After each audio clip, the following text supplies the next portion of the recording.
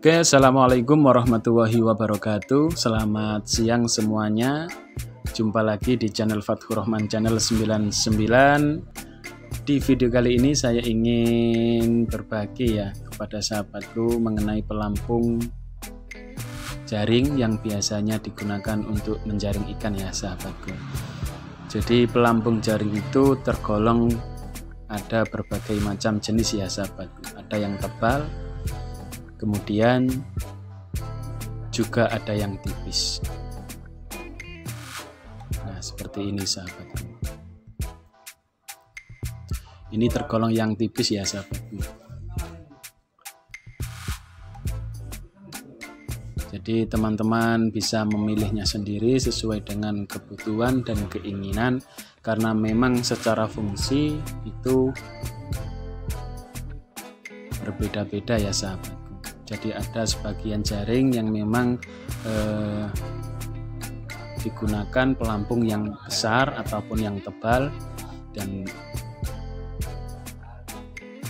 jaring ada yang menggunakan pelampung yang tipis ya jadi tergantung kebutuhan pembuat.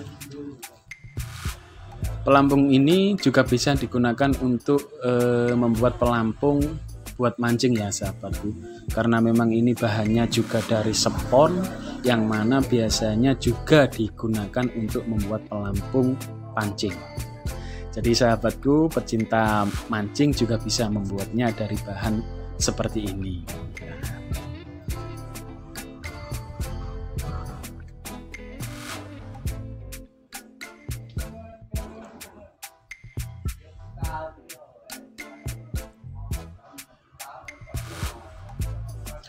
kalau untuk satu bungkus satu bungkus yang yang ukuran tebal yang pelampung tebal itu sekitar 100 biji ya sahabatku jadi yang tebal ini satu bungkus berisi 100 biji.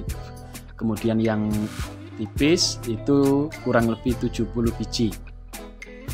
Dengan eh, fungsinya masing-masing sahabat Bagi teman-teman yang ingin tanya mengenai pelampung jaring ataupun jaring, silakan tulis di kolom komentar. E, kalau bisa ya saya jawab sahabatku. Dan mudah-mudahan apa yang saya sampaikan bisa bermanfaat buat teman-temanku semuanya. Oke, terima kasih. Tentunya sampai jumpa di video-video selanjutnya. Wassalamualaikum warahmatullahi wabarakatuh.